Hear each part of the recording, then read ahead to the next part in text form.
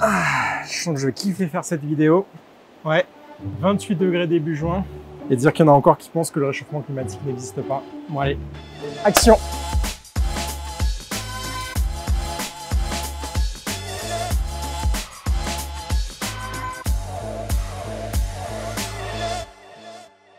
Salut à tous, c'est Adrien de la chaîne Pause Nature. Je suis très heureux de vous retrouver comme à chaque vidéo. Et si vous êtes nouveau sur cette chaîne, sachez que l'on parle ici de photographie animalière, de macrophotographie, de photos de paysage, mais également de développement photo.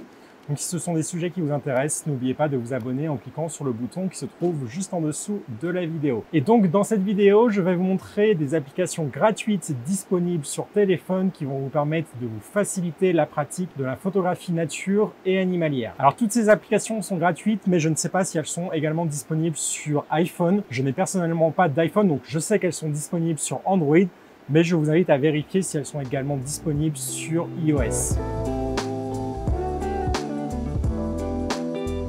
Alors la première application dont je vais vous parler aujourd'hui va être très pratique pour ceux qui font de la macrophotographie. Il s'agit de l'application PlantNet que je vais lancer ici et qui en fait permet d'identifier les espèces de fleurs mais également de plantes que l'on va croiser dans la nature. Par exemple, si vous êtes en train de vous balader dans la nature et que vous ne connaissez pas une fleur, eh bien cette application va, pouvoir vous le dire, va pouvoir vous indiquer quelle espèce de fleur c'est et elle va utiliser en fait la reconnaissance d'image. Alors le principe est très simple, une fois que vous avez ouvert l'application, il vous suffit de cliquer sur l'icône de l'appareil photo qui se trouve juste en bas de l'application et donc là on va pouvoir lancer une nouvelle observation. Alors on va avoir deux options qui sont très intéressantes. On a tout d'abord la caméra qui va vous permettre de prendre en temps réel une photographie. Alors ici c'est pas ce que je vais faire bien évidemment puisque je suis sur mon balcon donc je n'ai pas de fleurs à disposition. Donc je vais revenir en arrière et on a surtout la deuxième option qui va être très intéressante, notamment si vous êtes en balade dans une zone où il n'y a pas de réseau, eh bien vous allez pouvoir prendre une photographie à ce moment-là et venir recharger ensuite dans l'application la photographie que vous avez prise. Donc c'est ce que je vais faire ici. Je vais appuyer sur le bouton Galerie pour venir charger cette photographie de fleurs que j'ai prise il y a quelques jours. Et donc là, une fois que ma photographie a été sélectionnée, j'ai plusieurs options. Il va falloir en fait indiquer à l'application ce qu'on a pris en photo pour l'aider un tout petit peu. Vous voyez qu'on peut sélectionner feuilles, fleurs, fruits, écorces ou une plante entière. Donc il y a beaucoup de possibilités. On pourra en faire énormément d'identification avec cette application. Donc là, c'est une fleur que j'ai prise. Donc je vais cliquer sur l'option fleur. Et là, en fait, l'application va comparer mon image, il va faire de la reconnaissance d'image, il va comparer la photographie que j'ai prise avec sa base de données. Il va faire une analyse comparative de cette image et il va donc vous ressortir des résultats. Vous voyez que là, l'identification est terminée. Il me propose plusieurs résultats qui sont donc des orchidées. Là, on voit clairement qu'on est sur une orchidée. Et en fait, pour être sûr de l'identification, on a un pourcentage d'identification qui va nous permettre de savoir si on est plus ou moins sur telle espèce qu'une autre. Il faut savoir que là, l'orchidée, il y a quand même beaucoup d'espèces qui se ressemblent mais l'application m'a détecté 49% de compatibilité avec l'orchis mâle, donc l'orchis mascula, tandis que sur les autres, on est plutôt sur des correspondances à 13%, 11%. Donc, on sait que on est plutôt sur la première option, sur le premier résultat. Alors, on peut également comparer avec les photographies qui sont dans la base de données. Donc, ce sont les photographies qui ont été prises par d'autres utilisateurs. Donc, on peut comparer les images que les autres ont prises pour être vraiment sûr de l'identification. Là, on est vraiment sûr que c'est exactement la même fleur. Donc, ce que je vais faire, c'est que je vais valider mon, identification. Il faut savoir que cette application est basée sur la collaboration. Donc, c'est les utilisateurs qui vont collaborer.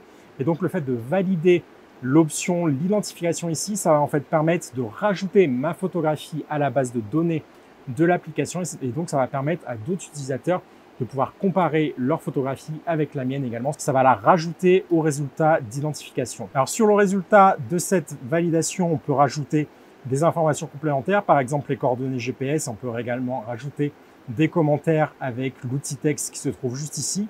Mais on peut également aller un petit peu plus loin. On peut, ce qui est également très intéressant avec cette application, c'est que si je viens maintenant cliquer sur le nom de l'identification, donc là on va tomber sur la galerie de toutes les photographies des utilisateurs. Mais je peux également aller cliquer sur le W qui correspond donc au logo du site Wikipédia et donc obtenir en temps réel des informations très intéressantes sur la fleur que j'ai identifiée. C'est vraiment hyper pratique. Alors c'est une application qui marche vraiment extrêmement bien. La plupart du temps, je dirais dans 95% des cas, l'identification est vraiment très bonne et surtout ça va vous permettre de garder en mémoire les identifications que vous avez faites. Vous voyez que là, je suis sur mon profil. Je peux garder les différentes identifications que j'ai faites. Parce que généralement, voilà, les fleurs, quand on s'y connaît pas trop, moi, c'est pas spécialement mon domaine, les fleurs. Et eh bien là, du coup, on peut garder un historique, ce qui nous permet eh bien de ne pas oublier les fleurs que l'on a identifiées par le passé. Alors la deuxième application va également être utilisée pour faire de l'identification, mais cette fois-ci de l'identification d'oiseaux. Il s'agit de l'application BurnNet qui va en fait me permettre de faire de l'identification sonore, c'est-à-dire que je vais enregistrer un chant d'oiseau qui va se trouver autour de moi. Donc là, vous voyez qu'on a un signal sonore en haut de l'application. Donc là, bien évidemment, c'est le, ma voix qui est détectée, mais le principe est très simple, c'est que eh bien, quand vous allez être dans la nature et que vous allez entendre un oiseau chanter, essayez de faire le moindre bruit possible et d'avoir le moins de bruit ambiant possible. Vous allez diriger votre téléphone vers ce euh, chant d'oiseau et du coup, le téléphone, l'application va vraiment capturer le signal audio. Et une fois que l'on a fini de capturer le son, on va cliquer sur pause. Et là, vous voyez qu'on peut se déplacer dans le signal sonore et on peut aller sélectionner vraiment un moment très précis du signal sonore et donc d'aller sélectionner que le, le chant d'oiseau et ensuite aller cliquer sur le bouton analyser. Alors là, je ne vais pas le faire bien évidemment puisque je n'ai pas d'oiseau autour de moi et que c'est le signal de ma voix qui a été analysé.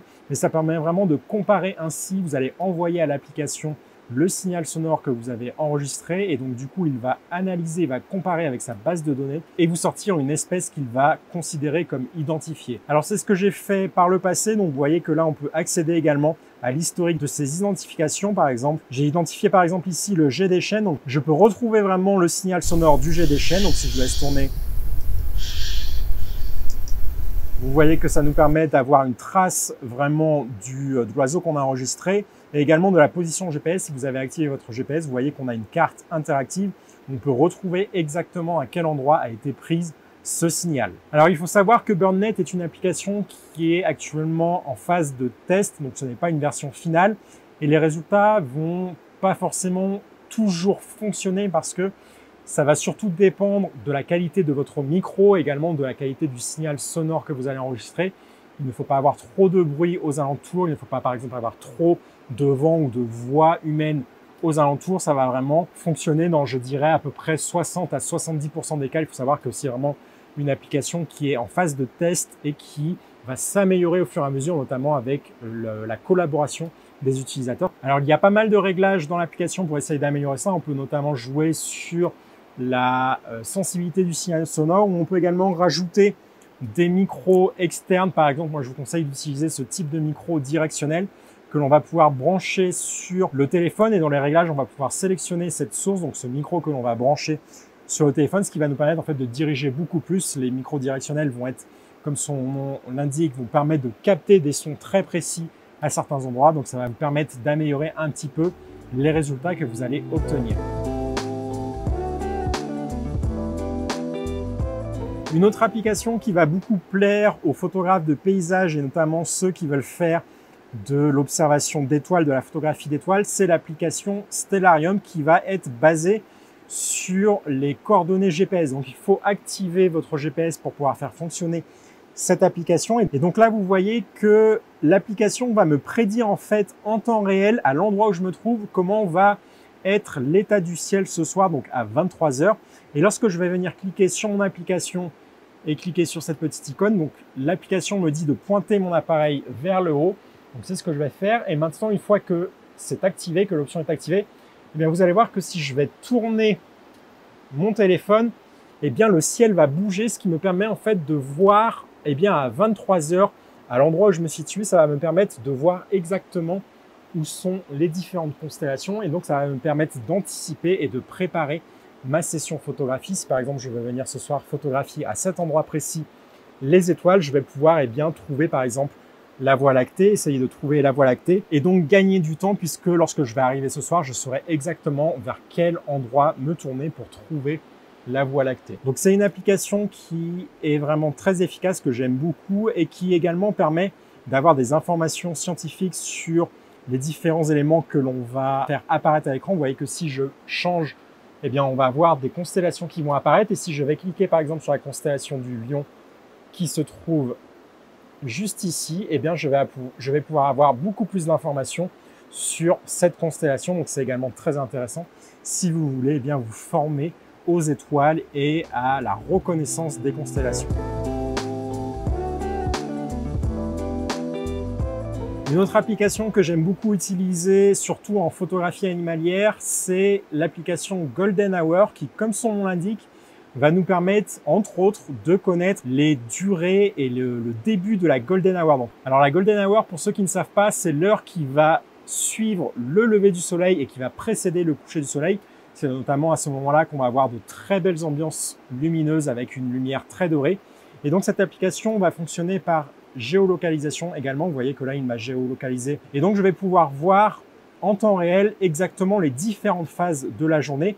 Notamment, il y a également l'heure bleue qui intéresse énormément les photographes de paysages. Et donc là, vous allez avoir un descriptif de tous les débuts de ces différentes phases et également de la fin de ces différentes phases. Par exemple, si on regarde l'heure dorée, eh bien, je sais que demain matin, si je veux profiter de cette heure dorée, eh bien, je devrais être sur place à 5h21 et je pourrais photographier à peu près jusqu'à 6h30. Donc, c'est une application qui est vraiment très euh, intéressante, qui est très simple, mais qui nous permet d'avoir énormément d'informations.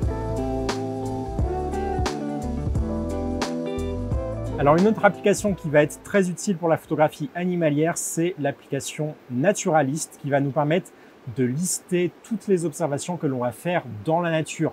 Et ça, c'est quelque chose qui est intéressant. Par exemple, si on veut eh bien, ne pas oublier, imaginons je croise un animal en me baladant, eh bien, si je ne veux pas oublier l'endroit où je l'ai vu, également la date où je l'ai vu, eh bien, je vais pouvoir, grâce à cette application, archiver ces différentes observations. Par exemple, si je viens cliquer sur le bouton plus qui se trouve en bas à droite de l'application, je vais pouvoir ici saisir mon observation. Donc ici, je vais choisir l'option directement sur le terrain. Et donc là, je vais pouvoir, via une géolocalisation, donc vous voyez que l'application m'a géolocalisé. Mais si par exemple, j'ai vu hier un animal qui se trouvait juste ici, imaginons un chevreuil, donc je viens pointer le euh, point GPS sur cet endroit-là, je vais cliquer maintenant sur suivant et donc je vais pouvoir rechercher le chevreuil puisque j'ai vu ici un chevreuil à cet endroit-là, donc le chevreuil européen. Je peux indiquer également le nombre d'individus que j'ai croisés. Donc là, j'en ai vu un seul. Donc je vais cliquer sur suivant. Et donc là, je vais rajouter, je vais pouvoir rajouter des informations différentes. Par exemple, je peux rajouter des détails. Si c'était par exemple un mâle ou une femelle, là c'était un mâle et un adulte. Je peux dire que je l'ai vu de mes propres yeux. Donc je vais ajouter cette remarque-là. Je vais valider la remarque. Je peux également rajouter des photographies. Si j'ai réussi par exemple à prendre le chevreuil au moment de l'observation, je peux également garder une trace de cette observation. Je peux également, si euh, malheureusement c'était un, cadavre que j'ai vu, eh bien je peux ici indiquer la mortalité, le type de mortalité ou de blessure qui a été provoquée. Donc là, je ne vais pas le faire puisque le chevreuil était bien vivant. Donc je vais cliquer sur supprimer et je vais cliquer sur enregistrer pour valider mon observation. Et donc là, si je vais maintenant dans le menu mes observations, eh bien vous pouvez voir que je vais avoir un historique de toutes les observations que j'ai faites. Par exemple, ici j'ai vu un bouquetin le 10 mai 2021, donc je peux venir retrouver par exemple la photographie que j'ai faite, c'est également intéressant. Euh, vous voyez ici, c'est une photographie que j'ai faite au Sigma 156. Donc on peut également archiver les sessions photos que l'on a faites, c'est pas du tout réservé aux observations en particulier.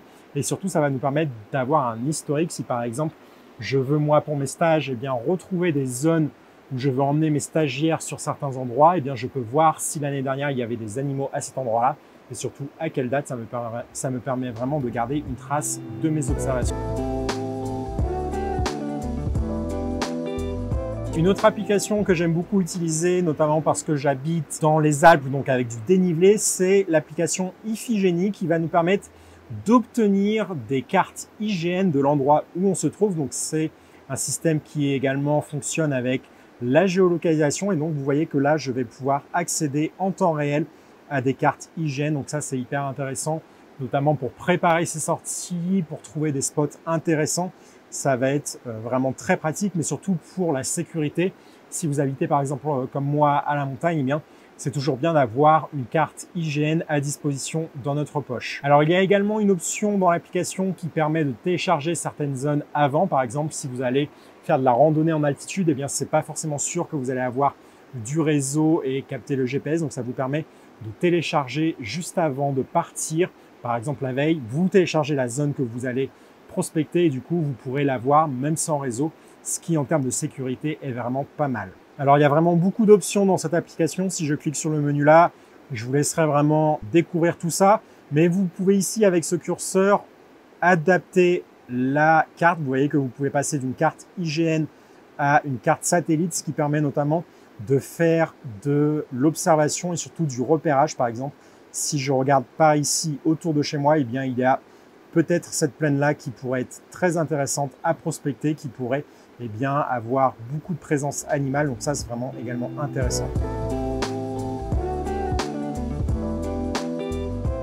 Et enfin, une dernière application que j'aime beaucoup utiliser, c'est l'application YR, qui est en fait une application de météorologie. Donc ça marche également par géolocalisation. Et donc là, vous voyez que lorsque vous allez vous déplacer sur l'application de coche à droite, eh bien vous allez pouvoir voir comment va évoluer le temps exactement à l'endroit où vous êtes et donc d'avoir une représentation peut-être un petit peu plus visuelle qu'une carte météo classique et donc pouvoir adapter en fonction vos différentes sessions photographie. Par exemple, là, si je regarde demain, je vois que demain à 10h, il y aura beaucoup de soleil. Donc moi, c'est le genre d'ambiance que je n'aime pas trop utiliser pour mes photographies. Mais si j'avance un peu, je vois que vers 15h, 16h, il y aura un voile nuageux peut-être un petit peu plus intéressant pour le type de photographie que j'aime faire. Alors généralement, les applications météo sont pas hyper précises. Généralement, ça va un petit peu se tromper par rapport à la réalité.